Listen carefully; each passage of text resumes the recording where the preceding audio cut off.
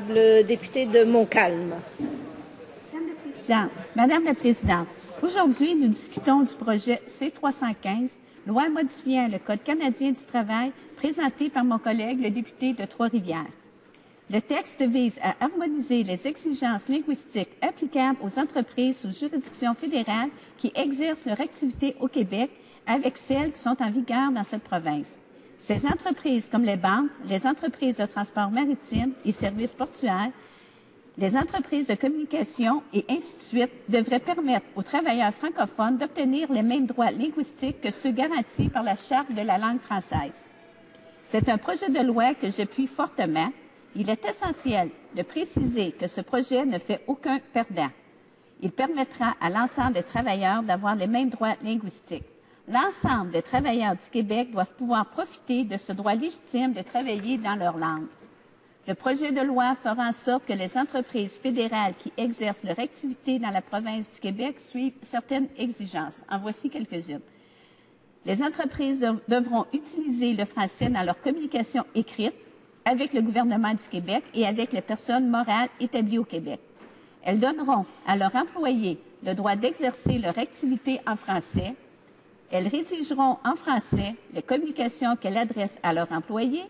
Elles rédigeront en français les offres d'emploi et les publieront dans un quotidien simultanément avec les offres d'emploi publiées dans une autre langue, et ce, dans une présentation au moins équivalente. Elles rédigeront en français les conventions collectives et leurs annexes. Et puis, toute sentence arbitrale suite à l'arbitrage d'un grief ou d'un différend relatif à la négociation au renouvellement ou à la révision d'une convention collective sera, à la demande d'une partie, traduite en français ou en anglais selon le cas et ce, aux frais des parties. Ce sont des prévisions très raisonnables en plus d'aider les travailleurs et travailleuses québécoises à obtenir un meilleur climat de travail, ce projet de loi aidera grandement le métier de traduction. Il est important de noter que ce projet de loi n'aura pas pour effet d'exclure une autre langue. L'usage d'une autre langue ne doit cependant pas l'emporter sur l'usage du français. Par ce projet de loi, il deviendrait impossible pour un employeur de congédier, de mettre à pied ou de rétrograder un employé parce qu'il se serait prévalu des dispositions prévues dans ce projet de loi. Laissez-moi vous donner un exemple.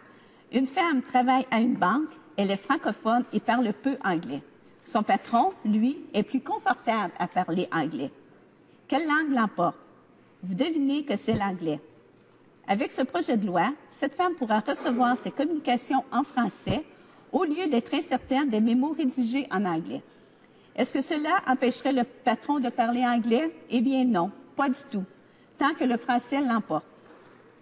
L'employée sera plus heureuse au travail, pouvant enfin tout comprendre des mémos qu'elle reçoit. Le patron s'assure d'une meilleure communication avec ses employés sans pour autant être obligé de limiter l'usage de la langue qu'il préfère. Ce projet de loi sera bénéfique et permettra de conserver un environnement de travail sain et convivial pour tous. Madame la Présidente, les entreprises concernées seront celles régies par le Code canadien du travail. Les entreprises affectées seront les banques, les aéroports, les compagnies de transport reliant le Québec à une ou plusieurs autres provinces, les entreprises de télécommunications et les stations de radiodiffusion. Une clause du projet permet des exemptions. Par exemple, une station de radio anglophone œuvrant pour la communauté anglophone du Québec et qui opère en anglais naturellement pourrait être admissible. Cette entreprise pourrait demander au gouverneur en conseil de profiter de quelques exemptions qui reflèteraient la réalité dans laquelle elle opère. Voilà bien une autre preuve que ce projet de loi n'est pas dogmatique, c'est-à-dire n'est pas décisif, mais bien conçu de façon à ce qu'une majorité de Québécoises et de Québécois s'y retrouvent en ayant le sentiment d'être reconnus chez eux au Québec, mais également à l'intérieur de la Fédération canadienne. Il est important de noter que ce projet de loi ne fait aucun perdant. Contre, il permettra aux travailleurs québécois d'œuvrer dans leur langue et d'avoir accès à tout matériel de travail nécessaire en français. Il est difficile de comprendre pourquoi ou comment un employé travaillant, par exemple, dans une banque au Québec n'aurait pas les mêmes droits linguistiques que son homologue travaillant dans une caisse populaire de l'autre côté de la rue, alors que tous deux se trouvent bel et bien au Québec. Le projet de loi de mon collègue corrigerait cette situation. Je ne vois pas pourquoi mes collègues de l'autre côté de la Chambre voteraient contre ce projet de loi si bien raisonné et si important pour nous.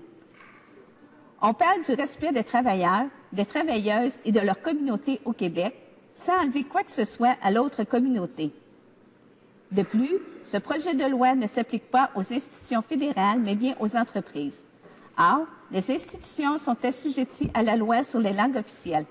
Ainsi, les communautés de au pays n'ont rien à craindre et rien à perdre avec le projet de loi C-315. C'est très important à comprendre.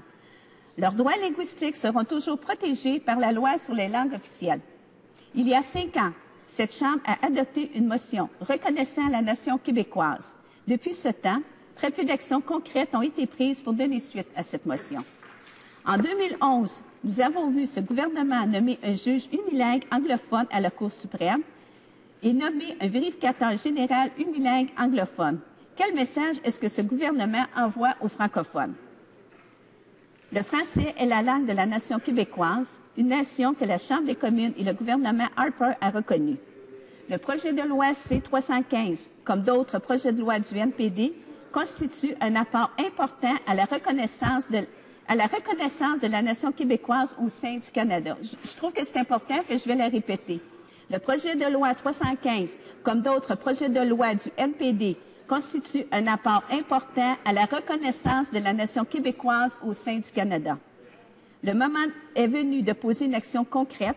Nous devons démontrer aux francophones du pays que le gouvernement fédéral défendra leur langue et défendra leurs droits en tant que travailleurs francophones. Ce gouvernement se dit le défendeur des travailleurs et des gens qui sont à la recherche d'un emploi à un moment donné, à un moment où l'économie est chambranlante. Voilà une façon de venir en aide à ces gens. Ce projet de loi protège aussi les travailleurs. Avec cette loi, il serait interdit pour un employeur de congédier ou de rétrograder un employé qui exigerait le respect des droits découlant de cette loi. Environ 200 000 personnes ne bénéficient pas directement des protections que prévoit la Charte de la langue française. Dans le contexte du Québec, l'usage français au sein des entreprises qui relèvent du gouvernement fédéral devrait aller de soi. La circonscription que je représente est Montcalm. Elle était plus de 95% anglophone. Pour ces gens, il s'agit d'un droit au travail. Quand une citoyenne va travailler pour subvenir aux besoins de sa, de famille, pour joindre les deux bouts ou pour gagner son, son pain, elle a le droit fondamental de travailler dans sa langue. Madame la Présidente, ça devrait être une réalité encore plus concrète grâce à la reconnaissance de la nation québécoise. Il s'agit de droits linguistiques et de questions qui traînent depuis déjà trop longtemps. Pour mes commettants, la langue française représente notre culture québécoise et elle est unique. C'est normal qu'ils veulent la protéger, la conserver et qu'ils veulent travailler en français. J'encourage fortement tous les membres de cette Chambre à voter en faveur de ce projet de loi afin de démontrer l'importance de la langue française. Ce projet de loi est une belle occasion d'envoyer un message clair aux travailleurs francophones du Québec et démontrons que nous nous préoccupons de leur climat de travail et leur droit de travailler en français. Je félicite mon collègue, le député de Trois-Rivières, pour avoir donné suite à un tel projet.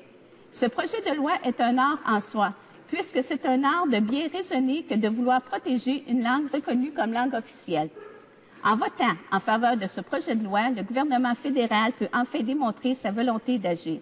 Passons au geste. Appuyons ce projet de loi des plus raisonnés et disons-le vraiment très bien réfléchi. Merci, Madame la Présidente.